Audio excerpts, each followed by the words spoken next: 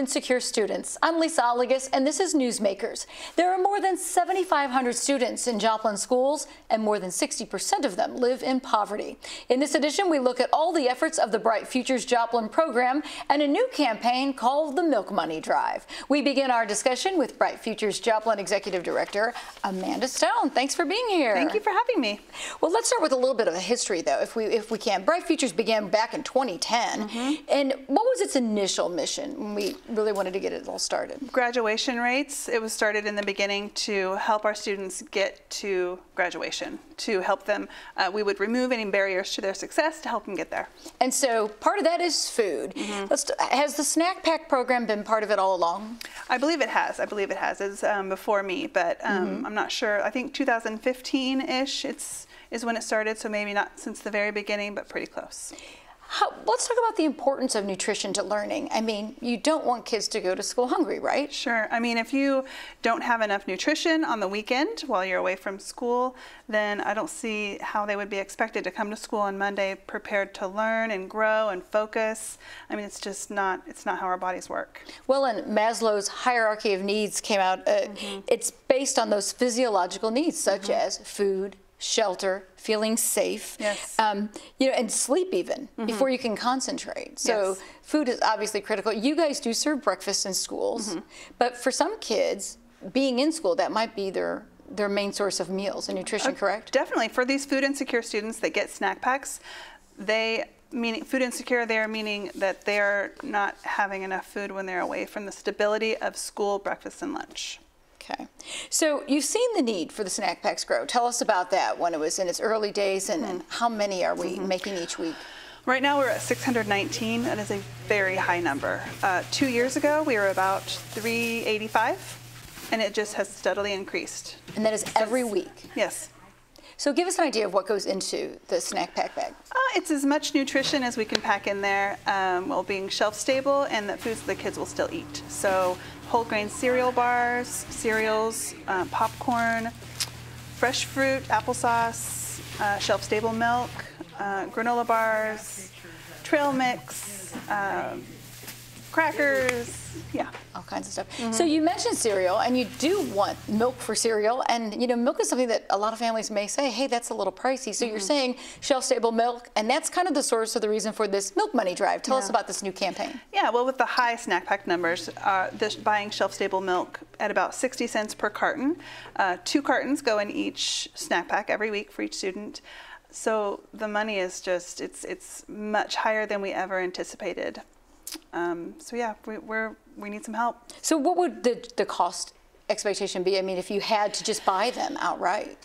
If uh, we do, buy, buy them. them. we right do buy now. them. Um, with uh, we're a, a, nonprofit organization, 501c3. So all the funds we get are donations or grants, and so we will spend close to $25,000 this school year on just on milk. Milk alone. Yes. So it really does take some donations to make that difference. Yes. Um, how does providing the milk impact your entire back, snack pack budget? I mean, mm -hmm. does it make it harder to then get other items?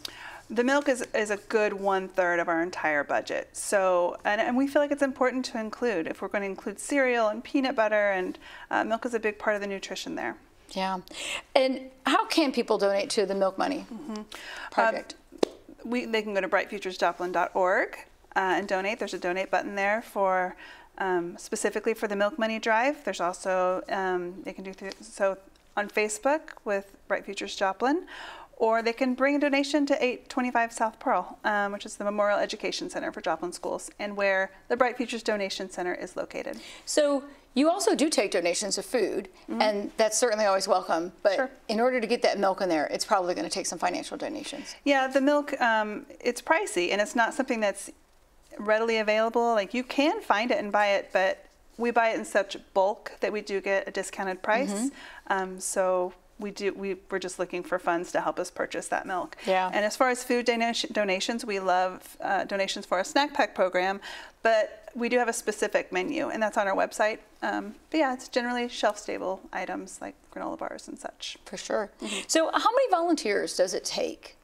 to get these snack pack bags already every week? Every week we're looking for, oh, eight people, eight to 10 people. Too many is too crowded, and not enough makes it go really slowly.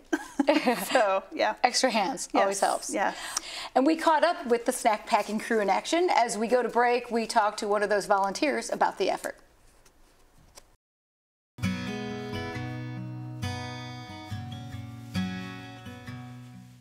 Local volunteers fill hundreds of plastic bags with Cheez Its, apples, and milk. They are called snack packs, and volunteers are hoping they can change children's lives. Gail Stratton is one of the Bright Futures volunteers and is glad to share why she donates her time. to help the children with their food, and I didn't have money to do it. And so I called the foundation, and they said, Well, we need people to pack, and so here I am. Gail believes what they're doing will have an impact. So, so many hundreds of children in Joplin who go hungry every day. Gail gives us an inside view of the packing process and explains why it's important for snack packs to include milk. Bones, growing children with bones, yes, they need that, and good teeth. They work as teams, even competing to see who can bag snacks the fastest. We've done over 700 in the past. The number has risen steadily throughout the school year. So uh, last week it was 606. This week it's 609. So it just depends if, if kids move into the school district or if they change schools or if their circumstances change and um, and they and they need weekend food. Then it's just a constantly moving target. What doesn't change is the impact made by volunteers, whether the time commitment is big or small. I've been doing this for years and years, and um, it's just, it's heartwarming to see so many other people volunteering to help. For Newsmakers, I'm Sadie Heisner.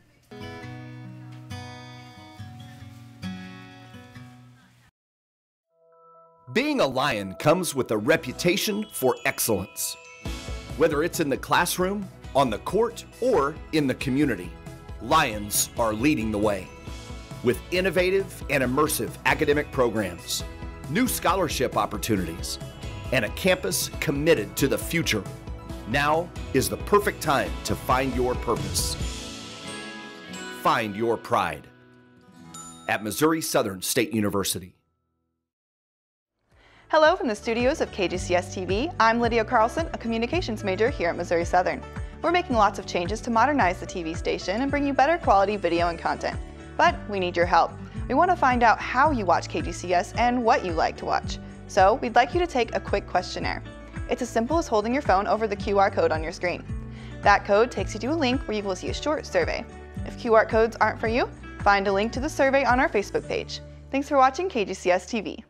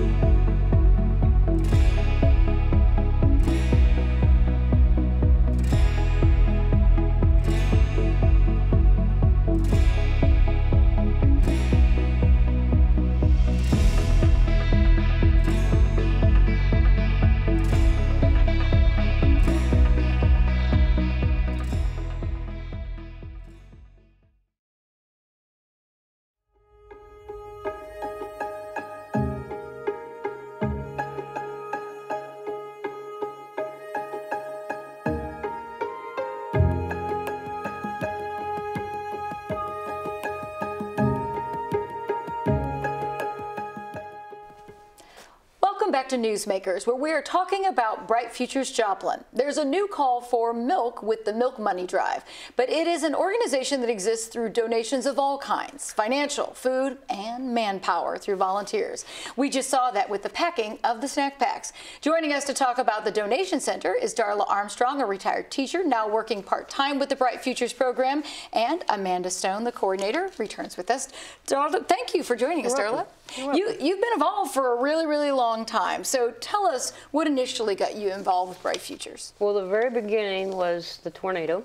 And um, the evening after the tornado, a group of administrators and teachers met at North Middle School. And we started tracking down students and employees And it just never stopped from there. We used North Middle School as a location for donations most of the summer, and donations just came in. We just we were overwhelmed and so blessed to get so many things. I mean, it was a warehouse, big warehouse at that time. Uh, yes, yes. And at that point, we moved out to MoDOT, and um, there was a huge room downstairs at MoDOT, and um, they had asked me to be involved with that, and then with retirement hours, I couldn't really do what Amanda was doing, so I started with the donation center, and they're like, Darla, would you like to get this organized? I'm like, well, sure, I don't mind. And so we walked in there, and it's a huge room with a pile of clothes to the ceiling, nothing else. That's that's what we walked into. So John Cody, who was the building engineer at the time, he helped me, and we gathered some shelves and put shelves together. And I started working on processes and procedures. How were we going to get find out what the students needed, and what was the best way to get those things to them and make the kids feel not feel like they're being singled out and so that was part of the processes that we worked on. And um, eventually we started with we had a lot of help. It wasn't a one person thing to do. And um, we had some AmeriCorps kids come in and help. Yeah. and um, I even did a semester of AmeriCorps and I felt like my time could be better used not filling out the paperwork which is important but I wanted to keep helping kids like right away, right, Right. away. Um, and we didn't have the students come to um, the building, to administration building. It was always taken to the kids. To um, at that time, we didn't necessarily use um, the counselors as our go-to. It was the teachers and the principals. But now they basically go through the counselors, don't they? For the most part. And, and how do you think that process helps? Like you said, you didn't want to single kids out. How have you made that work so that they're getting what they need without it being maybe embarrassing on their part? Mm-hmm. Mm-hmm. Yeah, and as they get older, shame starts to come in there as, a- as a mm-hmm. factor. And we just trust that the counselors handle it appropriately um, and get them what they need with discretion. You've worked with children because you were a teacher, Marla, uh, Darla. How did you, when you saw kids in need, how did you know? I mean, and, and why was it important to you when you saw kids that we met those needs? Well, one reason that I felt like I had a little bit of a leg up on some teachers that aren't out and about, mm-hmm. I always did a breakfast duty, and some other teachers thought I'd lost my mind, but I would see the kids first thing in the morning, and if they were having a problem, I could just zoom in on it, try to turn them around, change their day, and then they didn't spend a whole day getting in trouble or, you know, they missed their breakfast or whatever was going on. Hopefully, I was able to make a little bit of a difference that way. Or did you notice that there are a lot of kids who were dependent? Same kids being at breakfast all the time? Uh, yes, yes, pretty much. I mean, once in a while you'd have a child that didn't typically need that, but then that was always a good time to, to be able to catch a student that could have fallen through the cracks, you know, and had a mm-hmm. miserable day. But if one person could see that they were having a rough start to their day, they could turn them around. Yeah. So, Did you feel like, as an instructor, that you saw a difference in the kids after the Bright Futures program was implemented? I had retired in 10, mm-hmm. so mine was more of an administrative side. Yeah. So I didn't get to see that piece. I got to be behind the scenes and fill the requests and, you know, just hope that it did change their day or What kind of feedback did you get from teachers once kids start getting those items or, you know, taking home the snack packs? They're grateful and they're thankful because um, before Bright Futures, it's the teachers that were doing it, and so they're they're very grateful that we're able to help them um, and that their kids that they care so much about are getting the help that they need. Do you feel like, I mean, part of the, like you said, the goal was to get them to graduation. Are we seeing an impact in the classroom? Um, I I don't know. That one is a yeah. That one's a Yeah. teacher question. I'm not sure. um, yes, I would say yes. I'm sure. Okay. So we've talked about food, but there are other donations. And, you know, I, especially at wintertime, you always worry about a kid who comes to school without a coat. What are some of the other things that you set up at the donation center that you Well, wanted to- Amanda has done an awesome job. There, she's even doing bicycles to help some of the high school kids for transportation. So, you know, in the winter, you don't want them on a bike if bad weather, but um, we send out bicycles, and she doesn't just do the bicycle; she'll do the helmet and the chain, Mm-hmm. and that's then the kiddos will have to be responsible for the safety piece of it. But Mm-hmm. you know, they have a lock to lock their bike up, and they can get where they need to be, Yeah. get to class. Yeah, the bikes are a big part of the Flex program. So for our high school students that have to work and go to school, if they don't have transportation, then they're not going to be able to do that. They're not going to be able to graduate. Um, so yeah, that's a piece that that's that we really think is important. Talk about, I mean, clothing. Is that still an issue for kids? Huge. Yeah, that's a huge part of what we do. Um, anything that's a barrier to their success. So a lot of that's basic needs, clothing, shoes, weather appropriate clothing. So coats, um, gloves, hats, um, anything, anything that, that could be a barrier to them coming to school and being successful with their peers. Hygiene. Amanda Hygiene. had Yeah, me fill, hygiene. fill a hygiene request this the other day. Yeah. We weren't doing that much in the beginning of hygiene. Mm-hmm. Yeah. Of course, we had out at MoDOT, we were lucky enough we were able to share some things that we got that we would have shelves of laundry soap and mm-hmm. things like that that we didn't need at that time. So during the tornado, there were other groups that we were able to share what we didn't need. Mm-hmm. I mean, I interviewed a high schooler once who was in, in a poverty situation, and she said, you know, she didn't have the feminine hygiene items she needed, and she said that makes it horrible to try and go to school or even be at home. So, and then even cleaning, like you know, shampoos, are, are those things that you get to the students and their families? Definitely, yes. Anything, really, anything. We can work with our community and with our resources to get them what they need, um, because they can't. If they need to shower, if they need towels, or anything, kids, foster kids, or kids that are um, moving around a lot, they're going to leave everything and move to a new home or a new shelter with nothing, and they'll have to start over. And so it means everything from the ground up: hygiene supplies, school supplies, clothing, all of it. And she had a vision test on last month. Mm, yep. So Yeah, we have lots of, uh, we work with different partners in the community to, to supply glasses and vision exams. Yeah, cool. Darla, you've worked as both the you're now part time, but you work with a lot of the volunteers. What would you say to other people about volunteering and how it makes you feel to be part of a Oh program my like gosh. this? we have some of the neatest people volunteering. And you don't do it. I mean, you just you just walk away feeling better about yourself than you went in and you're doing it for the right reason. You're helping kids and we have some just absolutely awesome volunteers. Mm-hmm. So, Well, thank you both for sharing all this information about.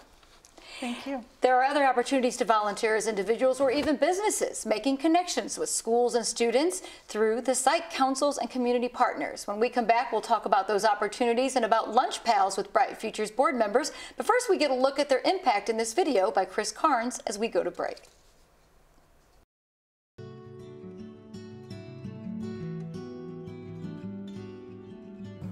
Schools are about developing community and relationship, and our students need that.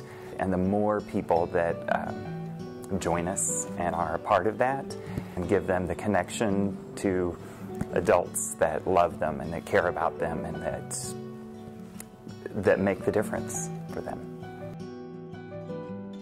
Having a site council and so many great partners uh, benefits a school uh, really in lots of ways. I know one of the obvious ways that um, first came to light was the needs of our students, physical needs, are, are just so great that sometimes we don't have the resources ourselves uh, as a school or families are struggling, and that's a great way to help support them. Every child needs a champion, right? We actually go in and show them sometimes their only constant in their life. Uh, we show up on party days and we dress uh, for Halloween and whatever it is. They, they really love that. They love to be able to, and they become uh, dependent on it. They, they count on us to do that. One of our favorite things every year is to see what costumes Liberty and Journey Church will come for our Halloween parties because they always participate. We try to show the children that the community cares for them. And also, we try to show the teachers and staff that the community is behind them and their efforts in teaching these children. So we had a Grandparents' Day event and uh, had invited grandparents in to be a part of some activities to get to see the kids and be a part of what their school day is like. And we had a few kids that didn't have anybody who was able to come in for them. There was one boy in particular, really devastated him, and he was actually hiding under the table crying. So that was the day that Jefferson's partners had decided to be there, and we had a ton of volunteers from Liberty who came and were substitute grandparents. And uh, when he found out he had somebody there,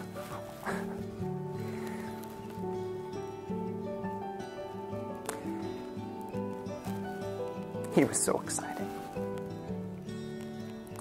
I went there four years ago thinking that I was going to bless someone. That is not true. I'm the one that's blessed because of all the relationships outside the school, inside the school, and with those kids that now interact with you. That is an incredible, incredible thing. And it only takes 20 minutes a week. Really? I mean, you can't carve out 20 minutes a week to do that. It's amazing. Love it. Well, Welcome back. In this Newsmakers, we're talking about Bright Futures Joplin and its efforts to ensure kids get those basic needs to succeed. Besides food and clothes, that also includes connections. Joining our conversation are Bright Futures Board President Larry Warren and Board Vice President John Boyd. Thank you both for being here. Thank, Thank you, you Lisa. John, you were one of those people featured in a video we just saw talking about what it means to be a community partner. So tell us about the Community Partner Program. Well, community partnership is very important to the schools. Uh, individually, um, we have what we call site councils. So we have business partners coming in from different um, organizations, whether it be Liberty or, or um, uh, faith-based, whatever it is. Uh, we meet with the school once a month and uh, find out what their needs are and uh, go from there. So a school can have multiple business partners? Absolutely. We, uh, I am a partner with Jefferson Elementary and we have about eight eight business partners. So we we actually tackle the issues that they they can't solve. So how does a business go about adopting a school? I mean, in what school? How do they choose which school? Usually they try to get close geographically to their their location. Uh, just makes sense, a little easier to get to and from the school, uh, and and short-term notice of something that the school may need, they're they're able to be available. And, and, what does it mean? I mean, what are some of the obligations or, you know, what are some, I mean, it's a partnership, but, you know, how often do these businesses come to the school? I, I am there three or four times a week. Wow. And if they actually call and someone says, hey, a little Tommy needs some shoes, I go get the pair of shoes. We have it turned around in about 30 minutes. So we can fulfill a need very quickly. So whether it be clothes, food, whatever it may be, we can fill those very, very short time. So besides having the Bright Futures organization as a whole, having the businesses right there, you can ask for something and it, it makes it, the turnaround's faster. Correct. Yes. Okay. You know, when, when it first started, um, that was kind of the thing, is to get these needs filled quickly. Because a child without a pair of shoes needs those shoes now. They don't need them a week from now or whatever, uh, especially in the wintertime. Uh, we were seeing kids coming to school with flip flops. I know some kids mm -hmm. think that's kind of cool and they do it as just because. Yeah. Uh, but otherwise, some of those kids, that's all they may have. And so, in order to fulfill those needs as quickly as possible, that's what we, yeah. the intent was. Yep. So there's a program called Lunch Pals. Do the businesses fulfill the role of being lunch pals? You, uh, in, in some instances, yes, but you don't have to be a business partner to do a lunch pal. I started out as a lunch pal. I've had about six lunch pals since I started in 2016. And um, 20 minutes a week uh, can change a child's life. Just paying attention. We don't ever want to underestimate the power of a, li a listening ear because uh, those kids will tell you things that are pretty tough sometimes. Yeah. Yeah. I mean, what is it like for you when you become a lunch pal? Well, I went in, I made the mistake and wanted to be a blessing to someone when I was the one that was blessed. Um, the relationship part, they just need a steady, figure in their life that they can count on, that they can talk to without any prejudgment or uh, any ramifications from at home. Uh, they just want to tell their story and they just want to feel secure and loved. It's someone it. showing up for them. And, yes. and, it might be that their parents are working, that they can't come to school very right. often. Correct. Right. Right. Yep. Yep. So we are uh, the counselors actually pair us up, and uh, I had a young man that would growl. That's what he would do. Wow. Uh, when I got him in third grade, he is now an 11th grader and uh, is involved in ROTC. Has a friend group. He doesn't need me anymore, which is sad okay. for me, but but it's good for him. He's made his way. And it accomplished what we want to do. Correct. Kind of give them security so they Correct. can achieve on their own. yes. Um, have you seen Bright Futures grow and change in your time being part of this organization? Oh, absolutely. Uh, especially in some of the programs that we have, and I think Amanda and Darla probably talked about the snack pack program. Uh, when I first started, we were around 150, and now we're up to 620. Uh, the needs are so much different now than what they were, um, but we're also getting the word out a little bit better too, and that's part of why we're seeing a, a bigger influx of, of needs. Yeah. Does that make it harder to meet the needs? I mean, there's growing demand. Absolutely. Raising the funds, um, getting the, the donations and everything, because most everything we do either comes from a grant or a donation. Uh, and then we get it out in whatever form that it might be clothing or food or whatever. But also, um, we are starting to have a little bit more trouble getting volunteers. Um, we need those volunteers. It's, it's critical to the program uh, that we have them. And it's not, we're not asking you to spend three days a week uh, like Chip does, but uh, you know, if you can come in and spend 20 minutes a week like he does with one of his lunch pals, it makes a world of difference. And so that's what we need is the volunteers Yeah. to come in and help. Even with, even if they don't want to um, maybe interact with the children, that's okay. We have a lot of other opportunities for them to be able to Behind do. the scenes, so. Absolutely. So how would you recommend people reach out? I mean, there is some forms you have to do to sign up to be a lunch pal, correct? Correct. They'll have to do a, a, a fingerprint-based background check and a family care safety registry, which, you know, that should be done anyway. Right. And then um, what they do then is just get a hold of Amanda at brightfutures.org or brightfuturesjoplin.org, Yep. uh, and they can sign up that way. All right. Lastly, what keeps you motivated? Chip? You know those, uh, just seeing the, oh man, just seeing these kids grow, you know, and not only socially, but um, in their learning uh, curve, uh, just, just hanging out with them. I just love it, love it. Wouldn't do any, anything else. Larry? just the fact that we get more out of it than they do. I, I mean, you really do. When you volunteer, as you you've done for a long time yourself, you know how it is. You you enjoy it, um, and it brings makes you feel good, but it also does something for them. A great benefit to the community. Thank you both for being here to Thank tell us all about Bright Futures Joplin and your experiences. Thank you, Lisa. That wraps up this edition of Newsmakers. If you would like more information about the Bright Futures program, check out the website brightfuturesjoplin.org. Thanks to our guest and thank you for watching.